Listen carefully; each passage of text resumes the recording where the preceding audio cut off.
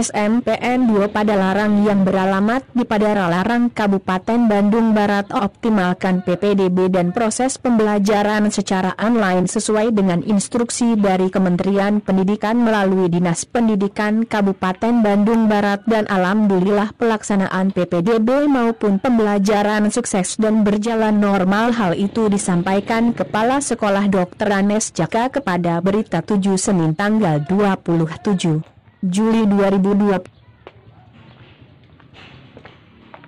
Assalamualaikum warahmatullahi wabarakatuh. Saya Dr. Asyaka Supriyatna, MPD Kepala SMP 2 Padalarang, Kabupaten Bandung Barat. Dalam hal ini saya akan uh, memperkenalkan di lingkungan SMP 2 Padalarang, Kabupaten Bandung Barat selama ini kami telah melaksanakan proses pembelajaran uh, daring, luring, dan kombinasi. Ini sesuai dengan uh, surat edaran Menteri Pendidikan dan Kebudayaan nomor 4 tahun 2020 tentang bagaimana menyikapi uh, proses pembelajaran di masa pandemi COVID-19 ini kami dari SMP khususnya SMP 2 Padalarang dan kebetulan saya sebagai ketua MKKS SMP Kabupaten Bandung Barat juga telah memberikan himbauan serta hampir seluruh sekolah di Kabupaten Bandung Barat telah melaksanakan proses pembelajaran uh, di rumah atau PJJ proses pembelajaran jarak jauh atau eh, BDR belajar dari rumah juga sesuai dengan uh, surat edaran dari Sekretaris Jenderal Mendikbud nomor 15 tahun 2020 tentang proses pembelajaran masa darurat di pandemi COVID-19.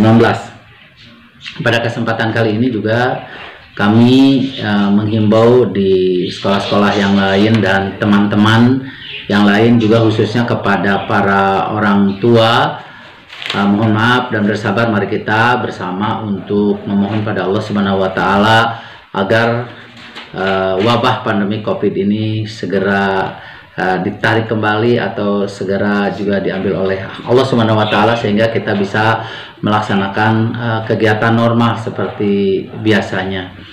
Tentunya para orang tua juga kami himbau untuk tetap bisa mendampingi putra putrinya juga salah satunya bisa membantu putra putrinya karena dengan proses pembelajaran jarak jauh tentunya ini juga harus ada andil orang tua tidak pihak sekolah saja.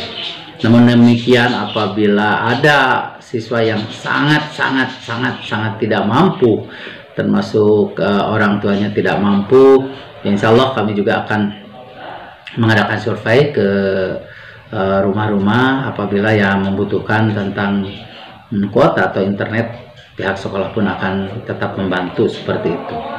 Pesannya yang jelas bahwa uh, mari kita bersama-sama untuk uh, membiasakan diri belajar di rumah dan uh, apa namanya untuk membiasakan uh, diri protokol kesehatannya dengan cuci tangan yang bersih menggunakan masker juga kemudian uh, apa namanya menggunakan hand sanitizer dan physical distancing.